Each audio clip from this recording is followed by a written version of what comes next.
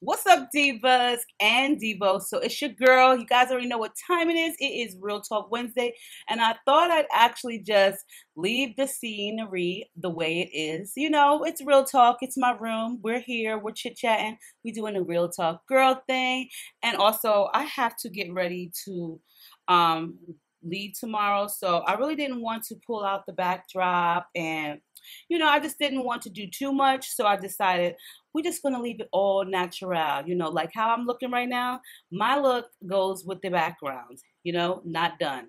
So anyway, um, yes, I'm leaving tomorrow for New York. And um, first, I go to New York City. I'm going on a world tour. No, I'm just fucking with y'all. I'm not going on no damn world tour. I'm just go. I'm going, you know, back home. So the first thing I'm going to do is I'm going to see.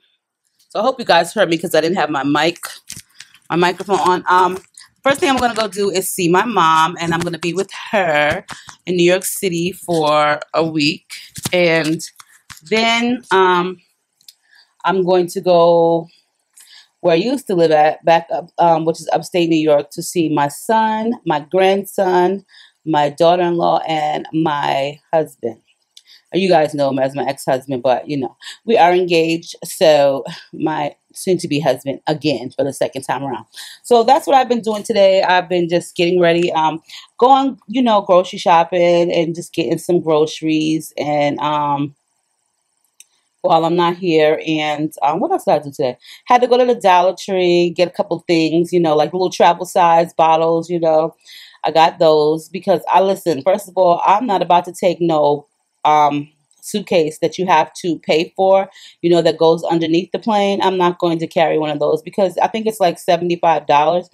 Um, I take me a carry-along bag, um, like, you know, carry-on, carry-along suitcase, and I could fit, a, I could fit enough clothes in there for the two weeks. Now, mind you, I can fit even more now because it's nice outside, so the clothes are less bulky. So, you know, and then I have my book bag too, so a girl is not about to be paying no extra. And plus, last time I did that, um, then I did go for two, um, I went for 10 days. I took along a regular, you know, suitcase. And with Southwest, you don't have to pay. So I took that along and um, I didn't even wear half the shit that I brought along with me. And so this time I'm flying American Airline, which I have flown for the past like three months now because they're cheaper. But the thing you have to do is you have to pay for your bigger suitcase if you have to put it underneath the plane. Let me tell you something. Southwest is really not cheaper. Their prices are more because they try to fool your ass because the suitcases, the luggage is included. You know what I'm saying? So, yes, a girl has gotten over and knows how to do it. And um, so, yeah, that's what I'm going to be doing. Um, my flight leaves at 5 a.m. So by the time y'all watch this, I'll already be there because it's Monday and I leave on Tuesday. So it's Monday and um, it's about to storm outside. It's really like raining hard. And I'm happy about that because it never barely, it never rains here in Arizona. Like it does, but it don't rain like that. So yeah, I went to the Dollar Tree. I went to the 99 cents only store. I went to the post office to, you know, ship out some wigs and I went to Walmart. And that's about it. So here I am.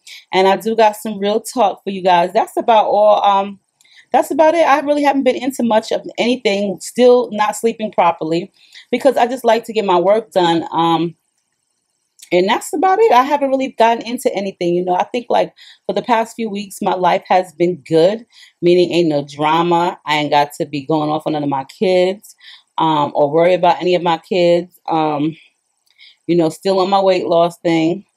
Um, now I did go down to I, I did lose some weight. I actually went down to like again to 189 and went back up to 192. I, I guess I'm supposed to just stay at 192. But um uh, yeah, I haven't really been into anything too much. So we're just going to get into this real talk right now because I really do need to finish packing and I do want to edit some videos prior to me leaving so that way they could be uploaded and I don't have to do them while I'm chilling with my mom. So I do want to do that. So we're going to get into this real talk. If you guys have a real talk that you need to be discussed, make sure to send it to me because I'm so happy that I did get some real talks this week, three of them. And because girls, I had caught up, I was running low. And like I said, now I don't know about next Wednesday if I'm going to have a real talk because, you know, um, I just don't know. I will try to, um, but I'm not sure. If I don't have a real talk up next Wednesday, that just is because I'm on vacation. But I will try to, okay? But yeah, if you have a real talk issue, go ahead and send me that to um to my email address, which is down below. Muffin is my lovers 2012 at gmail.com. Please put in the subject line real talk. If you want to change the names of the characters or the people that are you are referring to in your real talk, you can say, Hey, hey April, I've changed the names already, or I don't care about the names not being changed, or vice versa. But you know what? we're gonna get into this. Um, I hope you guys are having a great week. I hope you guys enjoyed your Fourth of July. I thank everybody for all the warm and loving Fourth of July messages. You know what's so funny though? Okay, so we did go to see the fireworks. We was going to go to um the baseball field in Goodyear, Arizona, and we did. We did drive over there, and let me tell y'all, the crowd was so thick. Meaning, while we were driving there, you seen people parked out. I mean, when I say people, there was loads of people parked on the side of the road. Like when I say road, we don't have like where this was at in particular. There wasn't any sidewalk, so like it was like dirt roads or like grass roads. So you seen people with their trucks or their cars parked alongside because you know you could see the fireworks show from there. And I really wanted to go to the ballpark because I wanted to bring Tinky so he can see it. Um, but when I realized that there were so many people on the side, and I said to myself, April, do you really, really, really want to go into the ballpark and try to find a seat at this time now? Because the fireworks started at 9. So by the time we got there, it was like 8.20. So, you know, a bitch was late. Like, dumb late. I should have got there when it started at 6 o'clock. You know what I'm saying? But I really didn't want to be in the ballpark for that long because, for one, it's it's hot as hell out here.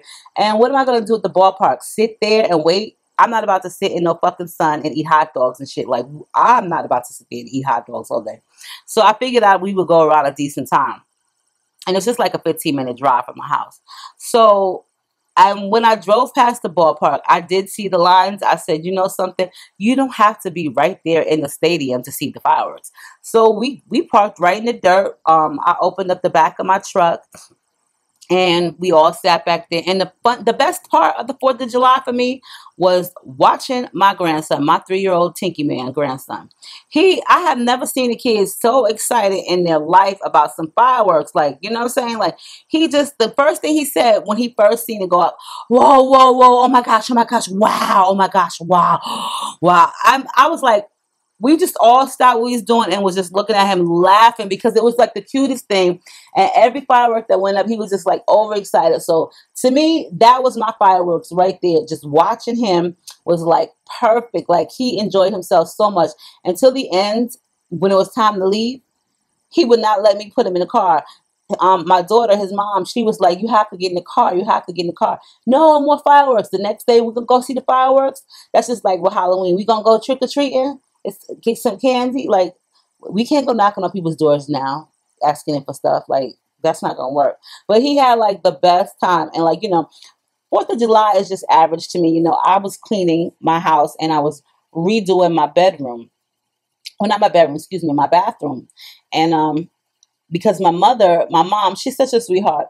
She, she, and I, when she was here visiting, she and I went to IKEA. She had never been to IKEA, and the one in New York is kind of far from her. It's probably like an hour and a half, two hour drive on public transportation. So um, I think she said you have to take like three buses or two buses and a train, something like that, you know. So she didn't want to really go to the one where she lives at in Queens. So we drive to this one out here in Tempe and it's like a 40 minute drive and we spent the entire day there because you guys if you ever been to ikea it's huge. You got so much to do and look at. And like i actually like to go there not even to buy stuff but you know what i'm saying? I just like to go there to look around and walk around because i love like the displays that they make you know?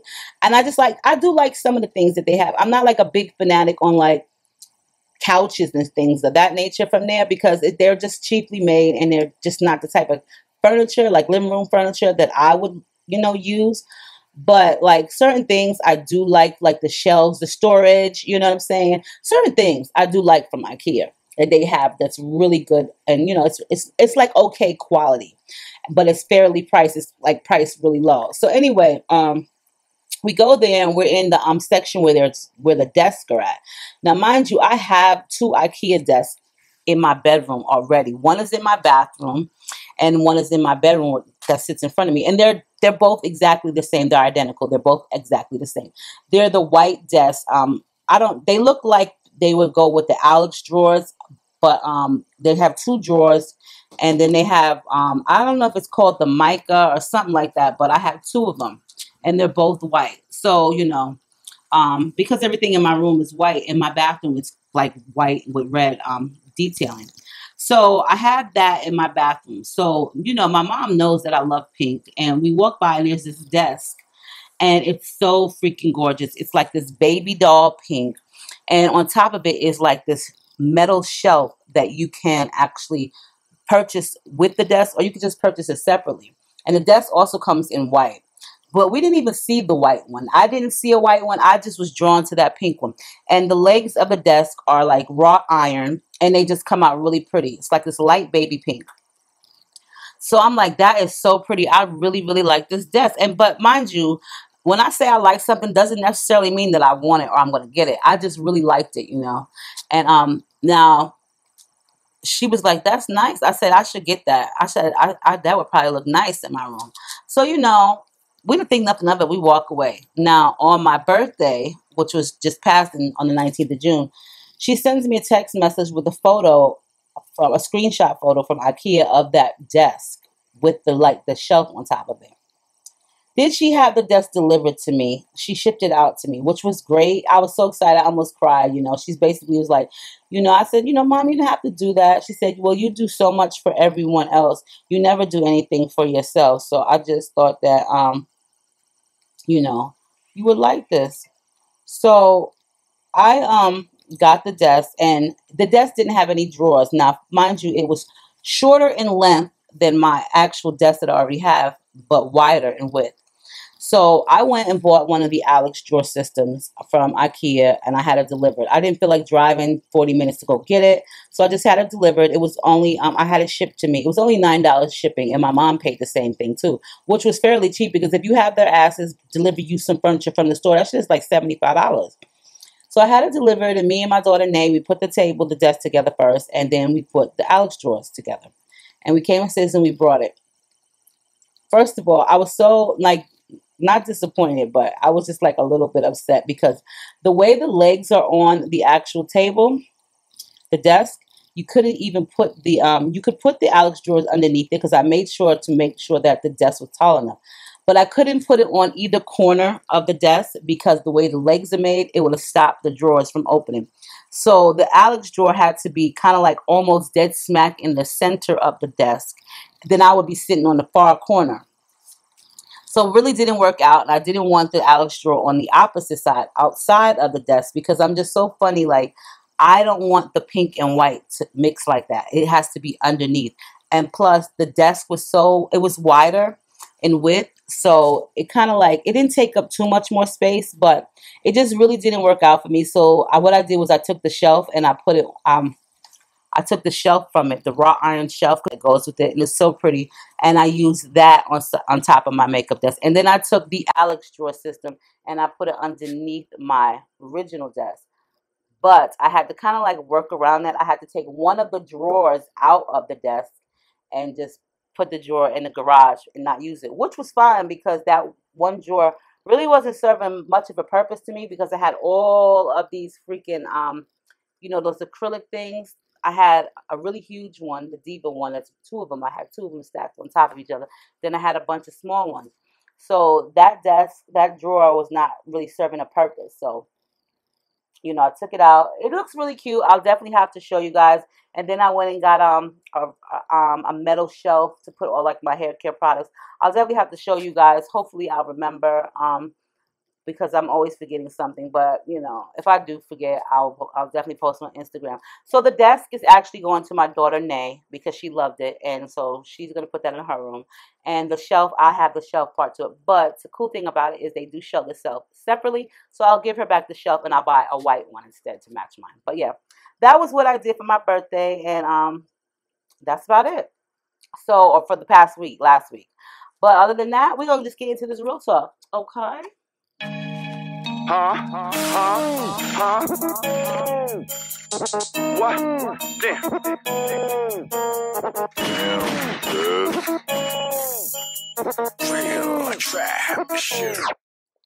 All right, you guys, so let's get into this. Dear Miss April, hello, Miss April. First off, let me start by saying you are my role model because I watch you every day on YouTube so that I can free my mind of everybody else and their negativity. So first, I want to say thank you, Diva. That's cool to know that you're somebody's role model, even if I have a potty mouth. But you know what? I'm still a good person, though. See, you are so straight up and outspoken that you can embrace various real talk situations without passing judgment on those of us who are facing hardships. I'm talking to you today, hoping to share my own real talk situation with you.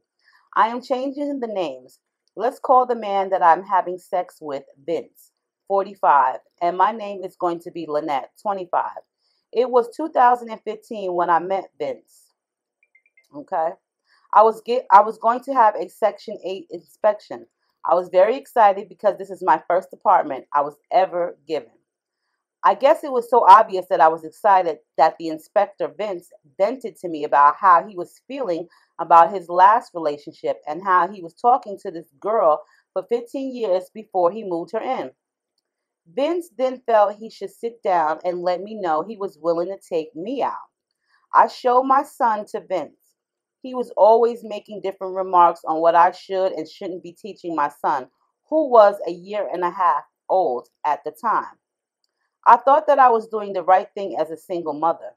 I felt like Vince might have been the reason why my son wasn't behaving the same during the time that this inspection was being conducted. However, I felt like regardless of him rejecting my son being introduced to him, I want to talk to Vince about going out so that it would have so that it wouldn't have appeared as though he had been as worried and concerned. Although this was stopping me from finding a sense of serenity. I talked to Vince more and more over time. As time went by, we became a lot closer than we were on the day we met. He was always sending me good morning messages, and I can't handle having to wake up in the morning without reading his text. Okay. When we would talk to one another, Vince always acted condescending and controlling, though. For example, he told me I was being hardcore and running things because I decided to clean his shower after we got out of it.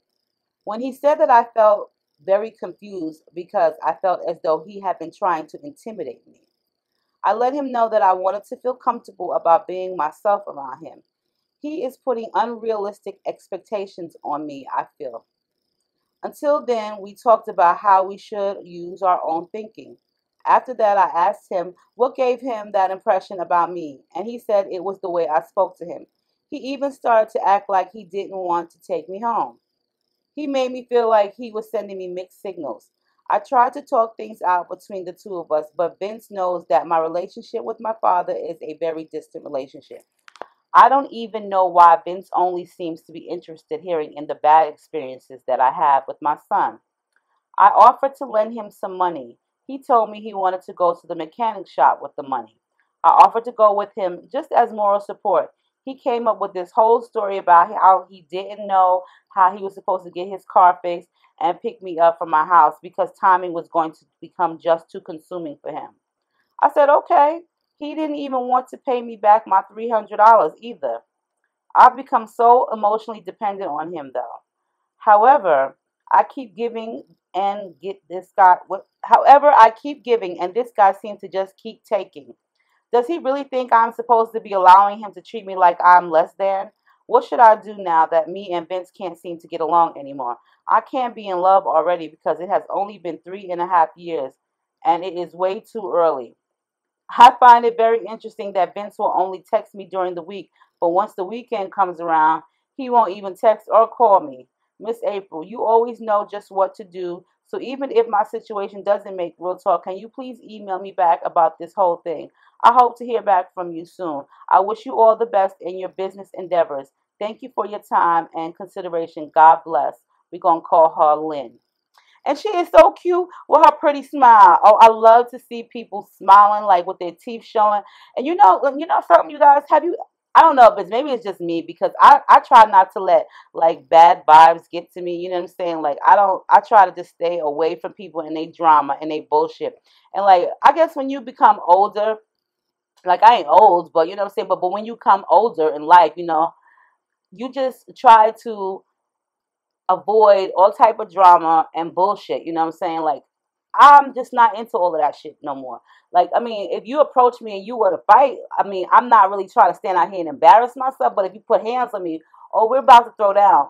But, you know, I'm not trying to be out here arguing in public or just being part of drama and beef. Like, you know why? I got too many things that's more important in life than just drama and bullshit. So I guess that's like another reason why like I don't have friends because some people do what they like to do and I like to do what I like to do. And like maybe my life is boring to others, but I just try to avoid a lot of shit and like I like the things that I like to do. So I just kind of like put my whole self into my family and just being here in my home. You know what I'm saying? I don't got time to be out club hopping and shit like that and getting drunk. But whatever the case is, I just think like as we get older, we start to do and we learn more about ourselves and, and people in general. We start to treat people differently.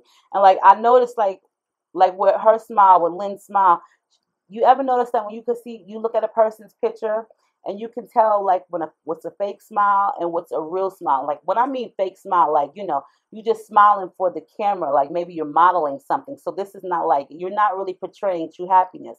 But like with her smile, I can see like the the happiness in her face. You know what I'm saying? So that's why you know I like her picture. She's so cute, and she got little glasses on, and her smile is just like so like you know what I'm saying infectious. Like you see somebody and they smile like this, you feel like you want to smile because you can tell that they're really happy. So from her picture, she looks happy just because of her smile. But from her email, I see that she's a little bit upset. You know what I'm saying? Okay, so basically, Lynn has been messing with this guy for a little bit over three years. And she's like, can she be in love? Because it hasn't even been long. It's only three years. Bitch, it's three years. Yes, you could be in love. You could fall in love with somebody without, within a week. There's no time frame or no time limit on falling in love with somebody. However, Mr. Vince need to take his ass and go some fucking where. First of all, Lynn, you got a son. Now, at the time, he was one and a half. Now you got this man. He was an he's an inspector for Municipal Housing Authority for Section 8. So she has Section 8, and don't nobody judge nobody about no Section 8 because the bitch used to have Section 8 too. And I wish they would give me that shit right now. But, you know, I can't get it, but whatever. So kudos to her because it is like people do go through shit in life. Everybody goes through some shit in life. Regardless of how much money you got, you go through some shit in life, whether it be financial hardship, relationships, family, whatever. Everybody goes through some shit in life. So we don't need to be judging people. So I'm not here to judge her, but what I'm here to do is to tell her this. So she got with the guy. You know, Lynn had her Section 8 inspection due. It was her first apartment. She was excited about it. And I feel her because that's how I was when I had my first apartment. I was so excited about it. You know, it's it's overwhelming to have something of your own, but you're very happy. Regardless of what you have, it's yours. You know what I'm saying? So Vince came, you know, he had to check out the, you know, the dwellings, make sure the refrigerator was running properly, the lights, the smoke detector, all that good shit. Yes, a bitch no, because like I said, I was on Section 8 at the time. So I guess her happiness rubbed off on him and he felt like he was able to sit down and talk to her about the relationship that he was in with a young lady for 15 years and after 15 years he finally decided to move her in now first of all not lynn but the girl prior to lynn if I'm with you for 15 years and after 15 years you decide to finally move me in, nigga, we're not even gonna be together. I'm not about to sit around and wait for nobody to move me the fuck in after 15 years. What the fuck? But maybe it was on both parties, you know what I'm saying? But I just think this from day one, he had no business telling you how you should run your one and a half year old child. Like, who the fuck are you? Just go fix some fucking ceiling fans and light bulbs, motherfucker, or write that down so that the landlord could fix that shit. Don't be over here telling me what I need to fix in my parenthood. And I don't even know you. And on top of that, you know what I'm saying? She didn't like his condescending and controlling ways. However, Lynn, you continue to go over to his home. You you continue to have a relationship with him. Three years, like maybe you meant to write three weeks because you said it was early. I'm not really sure.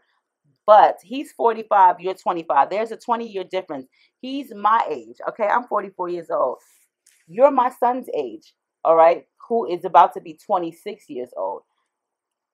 I'm not saying it's not going to work, but people that are more older, like myself, we're kind of settled and set in our own ways. So when we date somebody, like not we, because I ain't dating nobody, but my husband, he's four years younger than me. But when we're with somebody that is like way younger, like in their 20s, we are already set in our ways. And some things that 20 year olds do may strike us in the wrong possible way because we don't already did that 20 something years ago and we're not about that life right now. You know what I'm saying? So that may be a reason why he's so condescending. However, still doesn't give him the right to be kind of like trying to judge you and your son. Now, the one thing that would have thrown me off, and I wouldn't even want to be bothered with him, is the fact that when you have a kid, you are a package motherfucking deal, okay? You either going to have to accept me and my son, or you don't have to accept no one. You know what I'm saying? Like, if you cannot accept my children, then I guess me and you are not going to be anything of that nature. Like, I'm not fucking with you if you can't accept my son. And like she said in the email, he wasn't accepting to her son. Like, and all he wants to hear about basically is like bad things. He likes to hear or talk about the bad things about her life or her son's life. Like, that to me is like, so you like negativity, but the red flag is this if he wasn't accepting to your child, sweetheart, you shouldn't have fucked with him in general. That's the number one rule because he has to accept you and he has to accept your child. And if he can't do that, then you know what? He's not worth your time he's definitely not worth your time. You have a kid. Your kid is way more important than anybody else on the face of this earth next to yourself. So I'm not about to have no man around my son or me that don't accept my child. Like that's just not about to happen. But you continued on with the relationship with him, and then this nigga is borrowing money from you, okay? And then he's acting all shady and shit. And who the fuck gets mad about cleaning out a shower? So her and the guy got in the shower together because she said when we got out. Now I don't know if they got in at the same time. However, they got in the shower, okay? And when she and he got out, she decided to clean the shower. He got like upset about that. Like who the fuck gets upset about cleaning out a shower? Like so you're a dirty bird. You don't want to clean the shower. You don't want to clean the tub. Like that would have said a lot to me. Like nigga, you dirty. Cause like if you don't like to wash the shower out, that means the next time I may come around, you gonna have all kind of dirt scuds marks in your fucking tub. And like I find that to be so disgusting. Like seriously, I have been to people's homes and I have seen they like you washing that shit. You run, and I know that's fucking bath water because it's going around the tub. So that's a bathtub ring. It's not a shower ring. It's a bathtub ring. So you just and you just keep rebathing in that shit. Like, I don't know. I don't. First of all, I don't even like to get in bathtubs and and bathe because I just feel like it's just dirty. Um, you know what I'm saying? I don't know. I don't know. Something about it. I just, I, as a kid, I love to be in the bathtub, but as an adult, I don't, I don't want to be in the bathtub because I just don't want to be bathing in my own dirty water. But I know you can get out and take a shower, but that's just me. You know what I'm saying? That's just, that's me. But either here nor there, um, let me tell you something. He borrowed three hundred dollars. First of all, here. First of all, let's just get back to this. Section eight is for those who have lower income. Okay, that's what Section eight is for. Section eight is for those who have lower income. What the fuck makes this nigga decide that he can ask her for three hundred dollars to get his motherfucking car fixed when you got a job at municipal housing, making money? You work for the city. Who the fuck are you be asking this young lady for three hundred dollars? And she's a single mother on top of that, and you don't even barely like her kid. But he had some nerve to be asking you for three hundred dollars when you live in a rent controlled environment. You know what I'm saying? Section 8 helps you pay your rent, which means you have low income. Now, I don't know if she works or not. It doesn't matter if she works or not. The fact is, she has Section 8, which means that her income is low. And who the fuck are you to be asking her for money? If anything, nigga, you should be one to give her some motherfucking money, some help. You know what I'm saying? Be a man. You 45 years old asking this 25 year old single mother who is getting help to pay her rent for 300 fucking punk ass dollars. And I'm pretty sure she doesn't have a car because he did say, well, if I have to come pick you up to go pick my car, to get my car fixed, then that's going to mess up the timing. So she may not have her own transportation.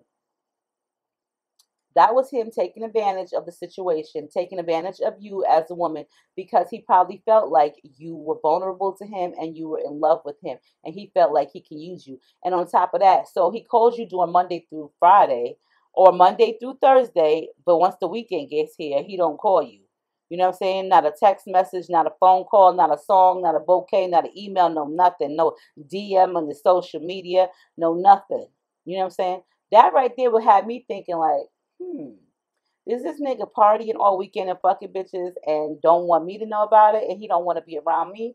Or is he living some other type of lifestyle? Either way, let me tell you something, sweetheart.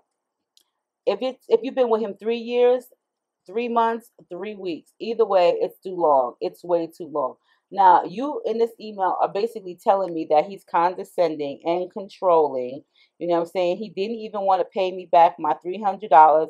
I become so emotionally dependent on him. However, I keep giving this, I keep giving, and this guy seems to just keep taking. Yeah, he's taking, okay, Lynn, because you're allowing him to keep fucking taking. You know what I'm saying? Like, if you allow somebody to do something, they gonna keep doing it. I mean, like, listen, I'm gonna use this for example. If I knocked on one of you guys' doors, one of you ladies' doors, and said, "Hey, it's me. Muffin is my lovers. You know, I I don't have nowhere to stay. I don't got no place to stay. Can me? I'm I'm gonna just say me. Can I come and stay with you for a minute? You know what I'm saying? For a while, so I get back on my feet. You like, oh yeah, girl, come on in, come on in, come on and stay. Now, now I've been there for months. When I say months, I've probably been there for like five, six months. I don't do shit.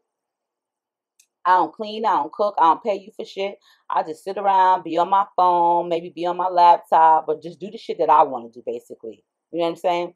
And you've been sitting around for five months now, April, and you ain't been doing shit. You ain't even trying to get it together.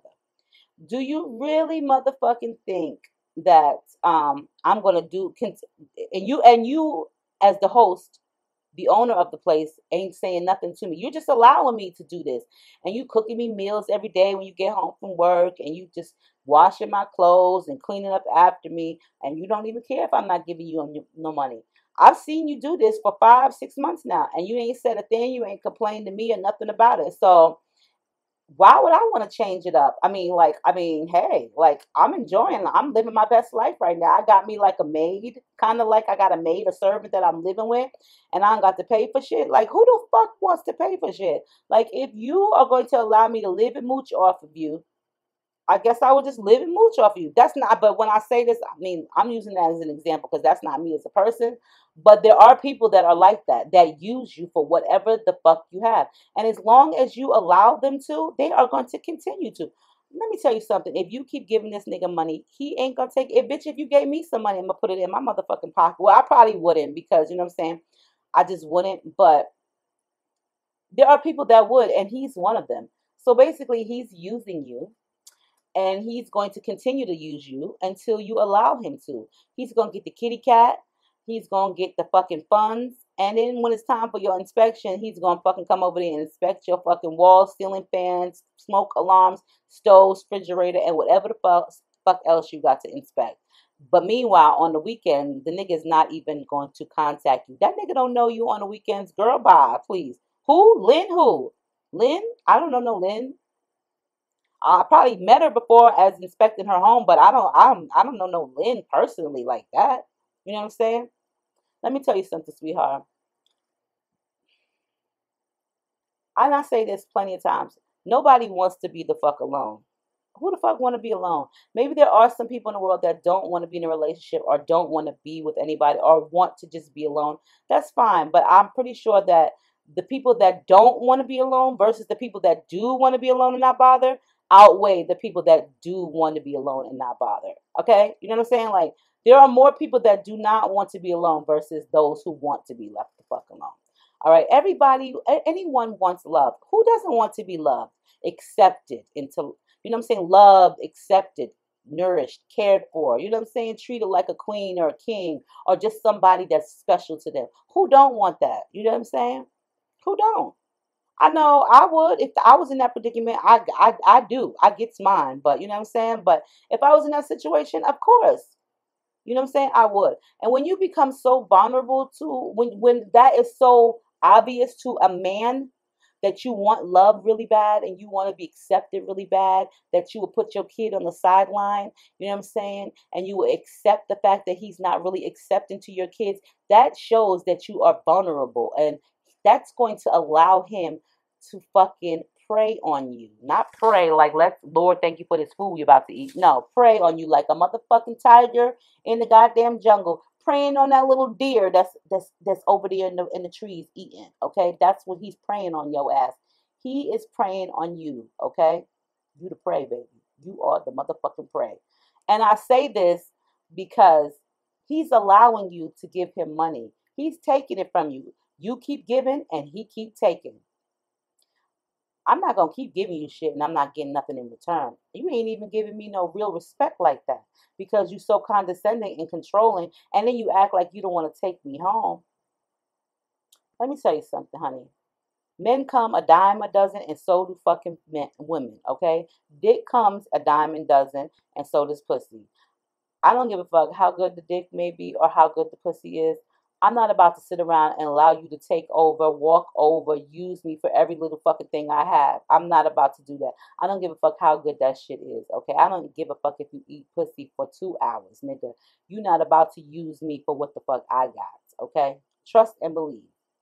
That's not happening. As much as I love you, I'm still not going to allow you to fucking use me. So here's the thing. You keep giving and he keep taking. Sweetheart, you into him. He not into you. If the nigga was really into you, bitch, he would call you on the fucking weekends. How you gonna not call somebody that you fucking with? Who does that? Like on the weekends. Only on the weekends. Like, you know what I'm saying? Like, I ain't gonna fucking call you on the weekends. That would have been a red flag to me the first time you did the shit like, oh, it's Monday and you calling me now. What the fuck you calling me now for? That's that's me. That that's that's me. You know what I'm saying? Like that's how I would do it. You're not about to go every fucking weekend and not call me. I mean, like, did you ever ask him why he don't call you on the weekend? And if you did, what kind of fucking lame ass excuse did he give you? Let me tell you something, Lynn. As long as you allow the nigga to use you and take money from you, he gonna do it. He gonna do it. That's that's that's human nature. That's not just being a man. That's human nature. And as long as you seem vulnerable to him, bitch, he gonna walk all over you like you a fucking doormat. You gonna be, you are a motherfucking doormat to this motherfucker. And your son is nothing but a little, you know, he's nothing basically. Your son is really nothing to this man. Like I said, the first situation where he didn't want to be accepting to my child would have been like, no bueno, nigga, no motherfucking bueno, okay? I don't give a fuck if he was inspector and he was like, oh, you don't want to go out with me? I'm not expected. I'm failing everything. Let me tell you something. I'll be, so first of all, how dare he come to your home on his time of duty while he's at work and try to kick it with you and ask you on a fucking date? Isn't that against regulations for working for municipal housing? Because I think so. You're not supposed to do some shit like that. That's so unprofessional. Okay? So out of line and so unprofessional. That right there would have been a red flag to me. Like, yo, dude, just come and fucking check on my smoke alarms and stove and shit and keep it moving because I don't even want to see it. Me, when I used to get the Section 8 inspectors, I mean, like, they were older white guys, so they wasn't trying to talk to me. But I didn't even want them coming in my house. I just didn't want them coming in my house. Just hurry up and get fucking past me and, and, get the fuck out. Or if not, what's wrong so I can have the landlord fix it. I, you know what I'm saying? And if, Lord have mercy, if he was to do some shit like that, if that was to happen to me, I would probably look at him like I had two motherfucking heads. Like, are you out your motherfucking rabbit ass mind? You come here to inspect my house, not try to inspect my motherfucking walls. You know which walls I'm talking about. You know what I'm saying? But the fact that you, he is treating your son like he doesn't even belong wouldn't be me, sweetheart. Let me tell you something. Like I said, dick come a dime a dozen. You can go out there and buy you some motherfucking dick. You can go out there and find you a new man, or you can be stuck in this fucking toxic relationship with this man who don't give two fucks about you or your son. I wouldn't care if he loved me until the day I was dead and he didn't like my son. I don't give a fuck. Then you don't like me, really. You don't care for me, really. Being in love, Lynn, is a totally different feeling. If you were in love, you wouldn't have to fucking email me all of this shit.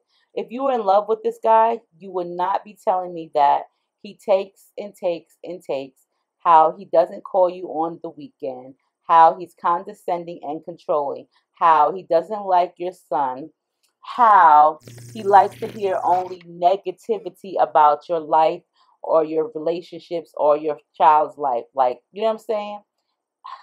How he likes to borrow money and not give it back. If you're in love, you would have never wrote me that email and told me all of that shit. Okay? What you're in is called in lust. Okay? Bitch, that's called in lust. You like the fact that you can talk to him. You like the fact that he texts you every morning and sends you morning messages. Bitch, if you need a text every morning, bitch, let email me back your motherfucking phone number. I will text you every morning with some motivational shit, okay? Not a problem. Not a motherfucking problem, all right? But you're in lust. You you you just said that you can't wake up without getting a text message from him. First of all, fuck the text messages. I care not to read early in the morning. Second of all, you know what I'm saying? Maybe you're lonely because it's just you and your son, and that's how it is. Let me tell you something. Sometimes just you and your kids is perfect honestly sometimes it just being you and your child is perfect because sometimes when you move someone in your home or you get into a relationship with them they do become controlling they do become condescending they do try to take over some shit you be sleeping and they be snoring like damn will you stop fucking breathing like listen let me tell you something this man is 45 years old and you are 25 don't fucking continue this relationship with this man he is not interested in you like that. All he's interested in is taking from you and not building a relationship with you, okay, or your son. If he's not trying to build a relationship with your child, he's not trying to build one with you, sweetheart. That means that he don't really care for you because if he really did care for you, he would give your son a chance and he would, you know what I'm saying, try to teach him things as a man. You know what I'm saying? Try to teach you things. All he's doing is fucking backlashing and putting you down and taking money out your pocket or whatever else to fucking give him next to pussy. Mm-mm. Bitch, you're not in love, you in lust. And I'm pretty sure I'm not the only one that's thinking these same things. Come on, guys. She has Section 8. That's rent controlled and us also help from the state or the, the state of, of wherever she lives at. It's from the state. Why would you ask her and why would you continuously take from her? If anything, this nigga should be helping you out, building you up. And instead, he's just bringing you down and you're getting depressed about it you're getting upset about it and you know you now you're to the point where you can't you can't wait for him to call or text you in the morning you can't wake up sweetheart and you just said you're so dependent on him you basically you know what i'm saying let me tell you something when you break up with somebody and, and if you have strong feelings for them and you've been with them for a amount of time it does hurt. And you think about them all the time and then eventually you get over them. Like each day goes by that you slowly forget about them you know what i'm saying? You don't feel so depressed or you don't feel so sad about it. You get over them. And this is basically what you're going to need to do with this man. He's a user. Girl please that nigga would have not even fucking tried to talk to me because i would have let him know at the gate fucking look through this shit and get the fuck out i wouldn't have said it in those words but you can tell off of the energy that i'm giving you and the look that I want you to fucking get out of my goddamn house already. Okay? I don't even want you here. All right? You know what I'm saying? But if you did give him a chance and but you still realize that the nigga don't like my kids, that nigga would have been ghost a long time ago. For real. So tell Lynn what y'all think about the situation. You know what I'm saying? Like, let me run it down to y'all again. She's on Section 8. Then Section 8 Inspector Vince came over to inspect her dwelling. She introduced her one and a half year old to him at the time of his inspection, which I think she shouldn't have done. I don't think you should have introduced your son to him. That's not his business. You know what I'm saying? You just met him. You don't need to introduce your son to him. You don't know. This world is built on crazy people, too. There may be some sane people out there, but there's also some insane. I want to, let me tell you something. I would not have allowed him to meet my kid in no way, shape, or form. Not that fast. I would have had to feel him out and let him, you know what I'm saying, feel him out and see what type of person he is before I allowed him to meet my kid. But you know what I'm saying? So he's a Section 8 inspector. He came to inspect Lynn's apartment, you know, for her yearly inspection. He met her. He started telling her about his past relationship. She and he started talking. They went out. He doesn't really like her kid. He just takes from her, like, you know what I'm saying? What would y'all think? You know what I'm saying? Give the diva some advice because I have. What are y'all thoughts on to this? So now we're going to move on to the next real talk. Okay, guys. Hi, Miss April. Haven't sent you one of these since last year regarding an ex. He is an ex for a reason. Let me just jump into this because it's going to be a long one. So I have been friends with this girl since 2010. We met in college freshman year. Let's call her Destiny. After freshman year, she moved back to our town and we still continue to be friends. No fights, no arguments, just a solid friendship. So we decided last year to go on a trip to Miami, bought the plane tickets in May, and we went on the trip in September. At the time, I was in a relationship and she was single. I'm telling you this for a reason. So we got to Miami and we had so much fun drinking and partying. However, we did fight and all argue almost every day because she wanted to do stuff that I didn't want to do and vice versa. I could tell we were getting annoyed with one another. And towards the last couple of days, because we didn't really talk like that, but we were determined to get over that and have the most fun that we could. Basically, live their best lives. On the very last day, we decided to drink and drink a lot. Well, I thought it was we, but it was mostly me. There was also these guys who were staying across from us that were real handsome, nice, and had a little bit of money. They even got us into a lot of the clubs for free and even the VIP. Well, anyway, they gave both me and her an edible, and we were messed up. Clarify, I was messed up. So you know what an edible is, y'all. The bitch has some weed when ugh, them shits will fuck you up, okay? Because trust me, I know.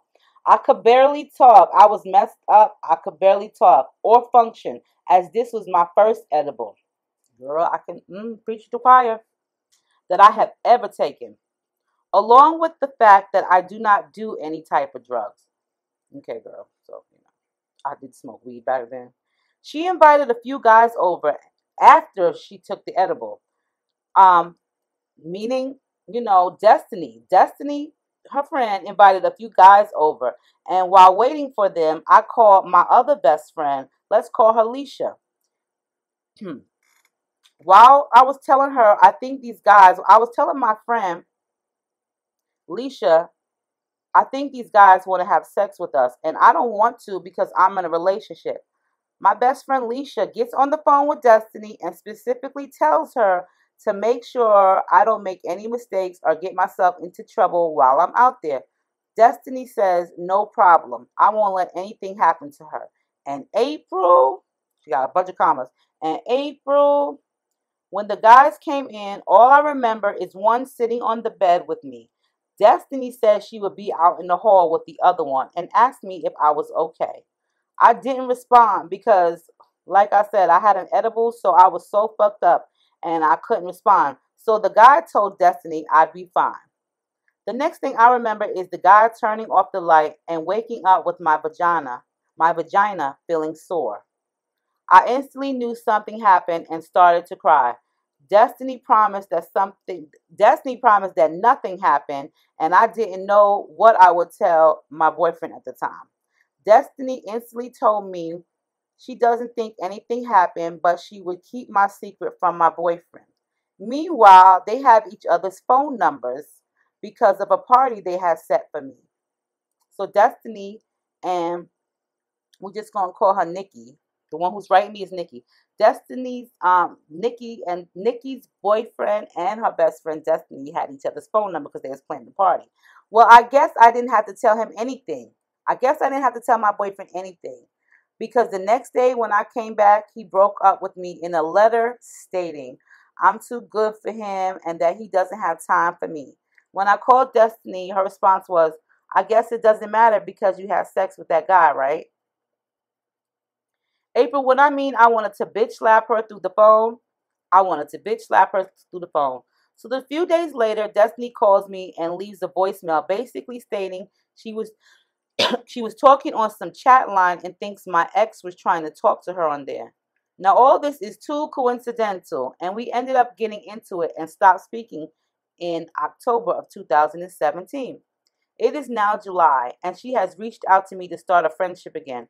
Should I forgive her? Part of me feels that she has set all this up to try and get my boyfriend, as she coincidentally made it seem like he wanted her along with the fact that he wrote me a breakup letter and blocked me that day that I came back from my trip. Truth be told, my ex would say on occasion that he never thought she was attractive and actually thought she was pathetic because of her bad taste in men. I don't know what to think. All I know is seven years is a long time. Could you give me some advice? In all honesty, I miss her, but I clearly cannot trust her with my life. And isn't that what a friend is for? A best friend at that? Hmm.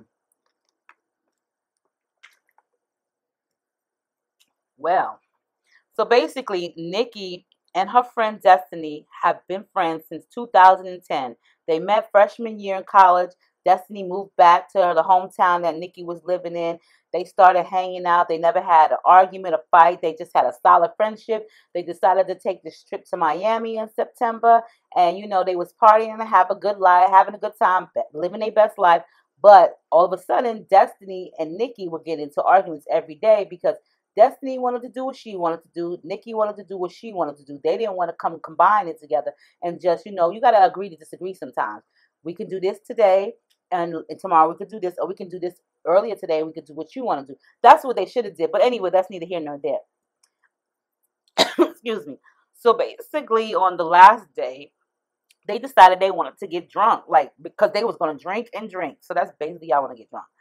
Um, there were some gentlemen that lit some guys that were, you know, renting a room out or renting a hotel room out across from them. These same guys were handsome, like Nikki said. They had a little bit of money. They got them in the clubs and even in VIP. So Destiny decides she gonna invite these guys over so that they can party together on the last day. But prior to that, Nikki took an edible. I don't recall Destiny. Destiny didn't take no edible. She said Destiny didn't take one. She the one that took the edible. And this was her first edible. She doesn't do drugs, so she was fucked up. Trust me when I tell you, you get fucked up because I had a brownie and that shit fucked me up so bad. I just kept eating the whole thing because I didn't feel like the high. And I was high for, I'm not exaggerating, you guys. I kid you not, I was high for over 24 hours.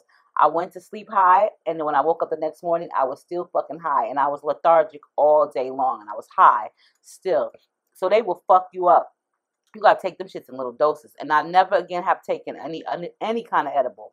Okay, but anyway, so Destiny invites these guys over from across the hall, you know, so they could party for the last day. Now, mind you, Nikki's already fucked up from the edible and Nikki's sitting on the bed, and one of the guys from across the hall is sitting next to her on the bed. But Destiny decides she don't want to stay in the room. She gonna go out in the hallway with the other guy. Bitch, why you going out in the hallway with the other guy? Why you just don't go across the hall to his room? You gonna go in the hallway? Bitch, why you just don't sit here? We supposed to be all partying and shit. That to me seemed like a setup, but whatever. We're gonna continue on with this. So Nikki basically calls her other best friend Leisha and says to her, Yo, I think these dudes from across the hall want to have sex with us, and I'm not trying to have sex with him because I'm already in relationship and I just don't want to have sex with them. Leisha gets on. Leisha, Leisha tells her, We'll put Destiny in the phone. She tells Destiny, Don't let shit happen to her. Don't let her do nothing she's supposed to be doing, etc., etc. Destiny said, basically, I got her. She's going to be okay.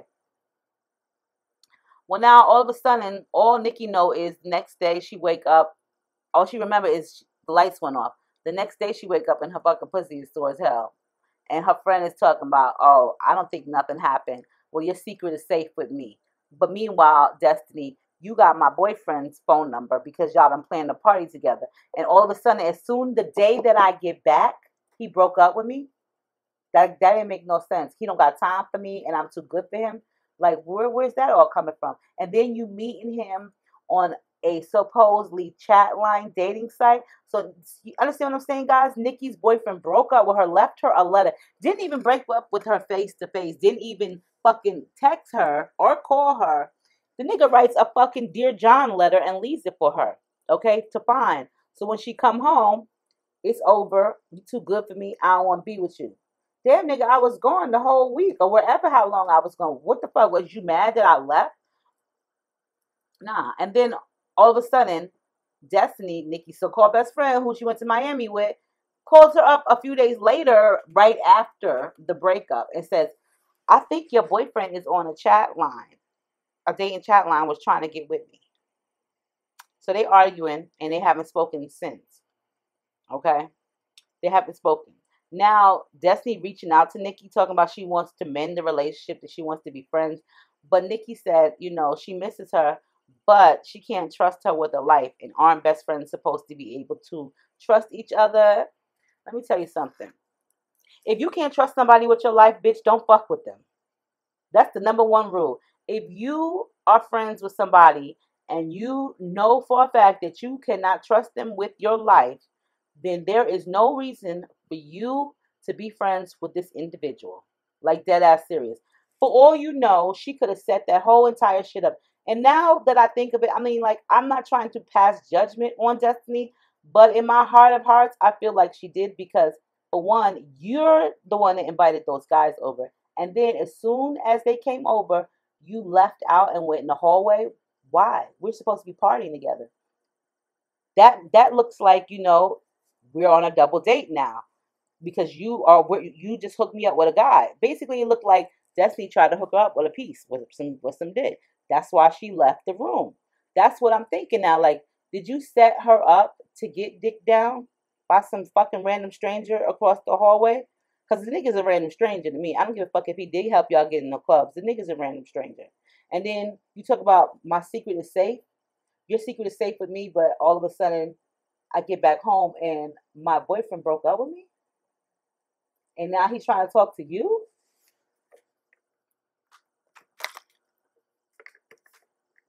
Let me tell you something. First of all,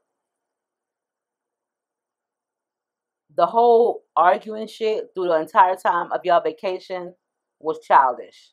Y'all could have just met each other in the middle and agreed to disagree and shared each other's ideas.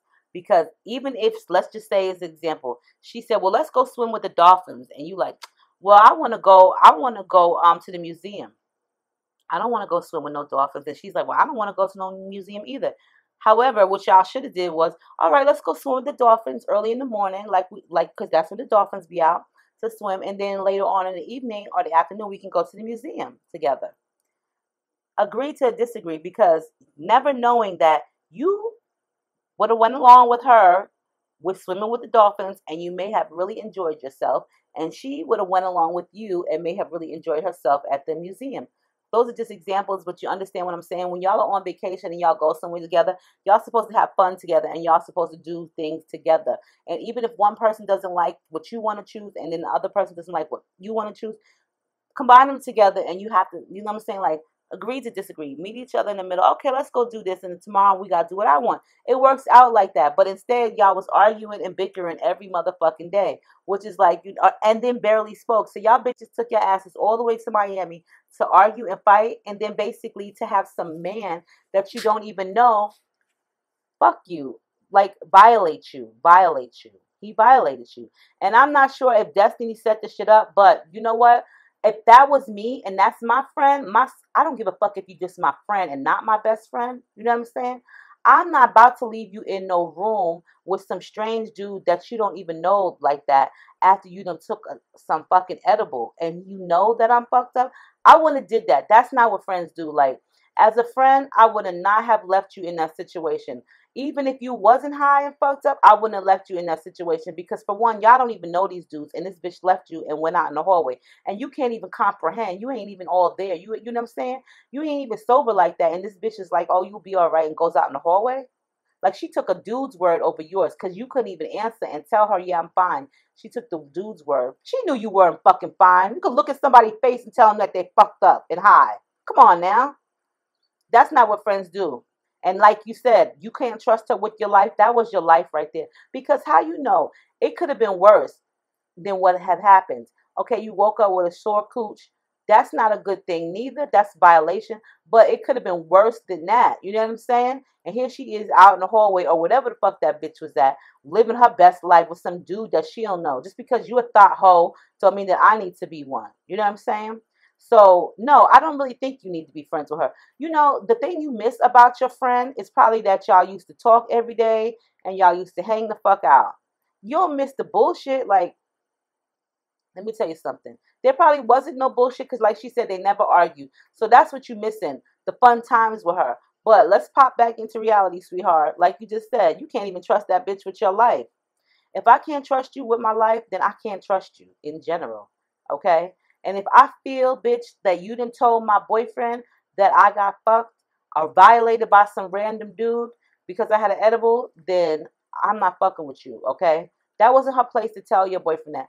However, this is the one thing that I want to, to see if you guys are feeling like I'm feeling about the situation. So the day that she came home, her boyfriend wasn't even around. He just left her a letter and broke up with her, okay?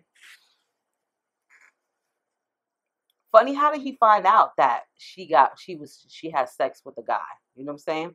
The only person that knew was her and Destiny. So in my heart of hearts, I feel like Destiny did call him or text him and tell him that yo, she was fucking some dude.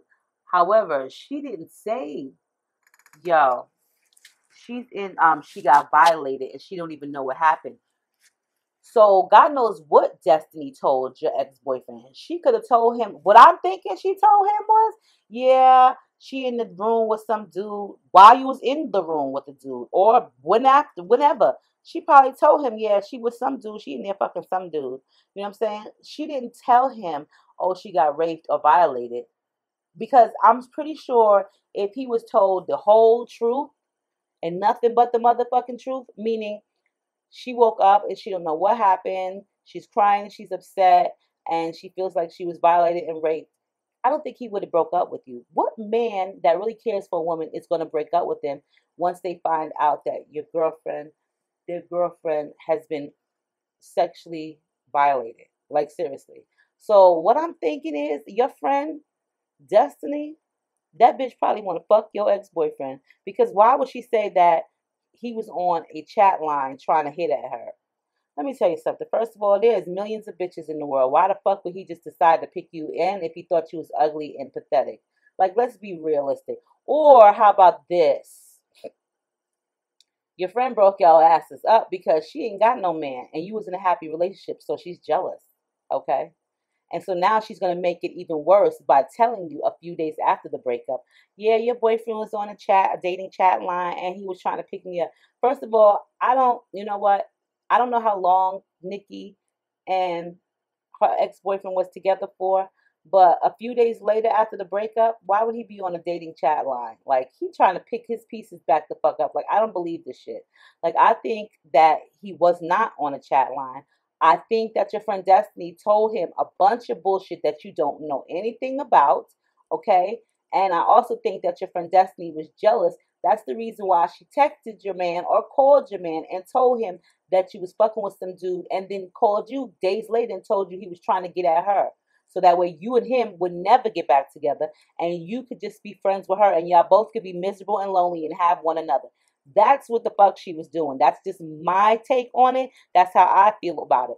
But like I said, that bitch ain't no real friend because if she was a real friend, she would not have fucking left you in that room alone with some fucking random derelict nigga from across the hall. Okay? Especially because you was fucked up. But in general, she wouldn't have left you alone. Okay? She would not have left you alone.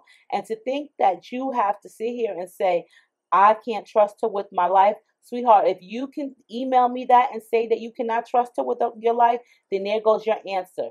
There goes your answer to being friends with her. Ignore that bitch. I don't give a fuck if you block her. Don't speak to her no more because she's a fucking grimy ass, trifling ass bitch who's real sneaky and she's trying to get and be happy just like you in a relationship or ruin what the fuck you have. So no, you don't need to be friends with her. And no, you don't even need to fucking contact her or converse with her or have any type of communication with her. And I mean, like, listen, me personally, this is what I would do. Like, I mean, even if you ain't trying to get back with your boyfriend, your ex boyfriend, I would still ask him. So, what did she say to you? Do you have, can you forward me the text message? Because she's telling me you was in the chat room and you was trying to get with her. I, you know, I would just ask this information only because I want to know for myself, not to go back in her face, but just to allow me to see, like, yeah, you know what? This bitch is grimy. Yeah, April's right. This bitch is grimy. I ain't fucking with her no more. Seven years is a long time, okay? But bitch, there's been friendships that are way longer than seven years. So seven years may be a long time for some people, but that can be a friendship that's gone and broken. You know what I'm saying? Like, listen, I've had a friendship with my friend Robin for 11 years almost, okay? Mumsy, well, 10 years, excuse me, because Mumsy is 10, she'll be 11 next month. So I met Robin since Mumsy was like a year old and we have been friends since then. We did have our little, you know, break from the friendship or whatever for like a year and a half or whatever, or two years or whatever. But those are friendships, and me and her, we would never do anything like that to another. For one, even though we, you know, even if we did stop speaking for two years and we got back together as and hung out and did things and went on trips, we would never do that to each other because that's not what real friends do. Real friends are able to learn to love each other and forgive one another. You know what I'm saying? Like she and I do. You know what I'm saying? I never stopped loving her. Even if we wasn't speaking, I like I told you guys, I always loved Robin. That's my girl. I love her to death. You know what I'm saying? That that that issue was because of me why I stopped speaking to her because I should have been more woman enough to say, hey, is there an issue? Because I feel like you're throwing shade at me on social media. If I would have just said that, then I'm pretty sure I'd have got my answer. You know what I'm saying? And then this would have all been avoided. But you know what I'm saying? That's what friends do. Sometimes they fight and they argue, but they don't leave another friend vulnerable and open like that to where that could mean some type of trauma onto the friend. Like she could have stayed in that room with you, girl. Something could have really bad happened. Like I feel like what happened to you was really bad. Like for real, that's rape. To me, that's rape. If you didn't give him consent, you didn't consent to having sex with him, and all you remember is the lights going off and then waking up the next day and your pussy's hurting like that, that's rape. That's rape. You know what I'm saying? You don't know he could have put something in your drink or your soda or whatever. You don't you just don't know. And like that's that's just that's rape. To me that's rape. And like I'm not saying it to make you feel any less of a person, but I, I want you to know that that's not your friend. She is no friend to you. If she can leave you in that that state like that, she's no friend to you. And if you can sit here and tell me that in an email that you can't trust her with your life, then she's not worth your time, sweetheart. And she's definitely not worth your life. There are so many other females out there in this world who are more deserving of a friendship than she will ever be. Yeah, y'all had good times and shit, but you was able to see her true colors. The bitch is jealous. Point blank, period. She want what you got, or she want to have what you have. And that's the bottom line. And with people like that, that's like sleeping with the enemy. Sweetheart, you don't need to be around anybody like that because if you feel like you always got to be second guessing what she's doing and how she's treating you, then you don't need to have any type of friendship with her at all. Period. Period. You know what I'm saying? So that's my opinion. Let Nikki know how you feel. How would y'all handle it if that was a friendship and that that's what happened to y'all? How would y'all handle that? Would how would that make you feel if your friend left you in that situation and then did those things to you behind your back to your boyfriend? How would you feel? I know I probably she said she wanted to bitch slap her through the phone. Wouldn't been no bitch slapping through the phone, bitch. I'm I'm knocking on your motherfucking door, okay? And we gonna bitch slap. I'm a bitch slap the shit out of you, point blank. You know what I'm saying? So you guys, I love you. Make sure you rate, comment, subscribe, leave your comments below for this real talk. And if you got a real talk situation about yourself or somebody you know, please send it to me at muffinismylovers2012 at gmail.com. And I hope you guys have a great week, and I will see you on the other side. Oh, and stay diva and diva. What? Damn.